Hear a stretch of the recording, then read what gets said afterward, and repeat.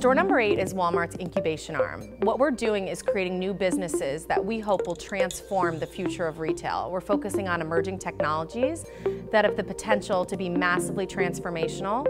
We get the question often, why, why store number eight, why that name? And we went back to Sam Walton's original thesis and, and really original strategies. And we love that the eighth store was actually the store he used to do a lot of his experiments in an old Coca-Cola bottling plant. We're really excited about VR, what we call uh, V-commerce. And so VR, what that does is it allows you to actually experience a camping tent in the, the actual location that you might be camping. And so envision being able to open up the camping tent, unzip it, get in, lay down on the floor, and look left and right and experience, you know, the size and proximity of that tent at Yosemite.